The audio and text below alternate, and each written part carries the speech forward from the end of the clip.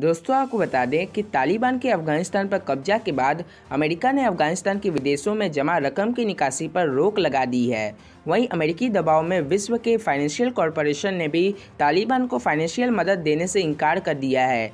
ऐसे में तालिबान के सामने सबसे बड़ी समस्या धन की कमी आ रही है।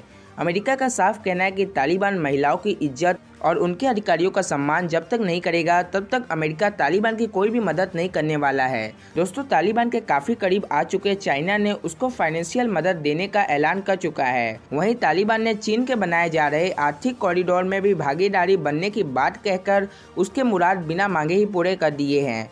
ये दोनों ही चीज़ पहले से ही तय मानी जा रही थी और अब चीन के तालिबान को फंडिंग पर अमेरिकी राष्ट्रपति जो बाइडेन का एक बड़ा बयान सामने आया है।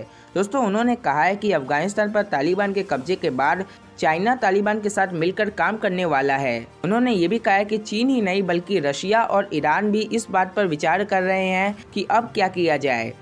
दोस्तों, इसका मतलब ये है कि जो बाइडेन सीधे तौर पर ये कहना चाहते हैं कि चाइना रसिया और ईरान ये तीनों मिलकर तालिबान को फंडिंग करेंगे, जिसकी वजह से तालिबान की फंड रेज होगी और तालिबान अपने देश में अत्याचार करेगा, कोई भी कंस्ट्रक्शन नहीं करेगा। दोस्तों, आइए अब आपको बताते हैं कि एक्सपर्ट का क्या कहना है।